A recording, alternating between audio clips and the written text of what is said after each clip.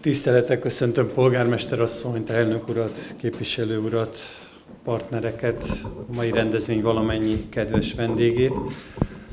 Sokszor beszélünk arról, hogy micsoda pályázati lehetőségek vannak ebben az országban, mennyi uniós támogatás áll rendelkezésre, és keveset beszélünk arról, hogy önmagában a lehetőség az mindig kevés. Mindig kellenek azok a helyi igények, amelyekkel összhangba lehet hozni, kellenek azok a valós és megvalósítható projektek, amelyek az itt élők érdekét szolgálják, amelyek valós igényeken alapulnak, és kellenek azok a tervezők, kivitelezők, akik végig tudják vinni a beruházóknak az álmait.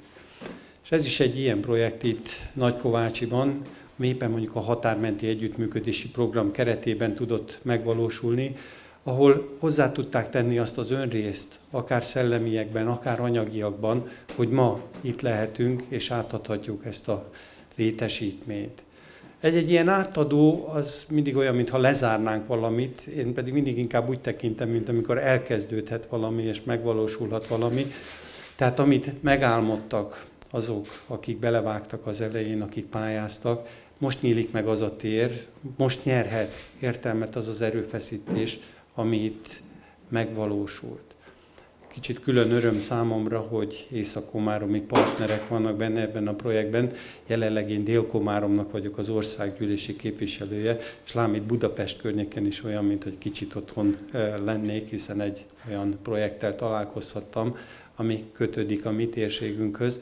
És ahogy itt a, a pályázatban is olvastam, egyik pillére, lába ennek a pályázatnak az a megvalósuló új Komáromi híd, amit majd a 14-től induló ciklusban fogunk szlovákiai partnerekkel megvalósítani.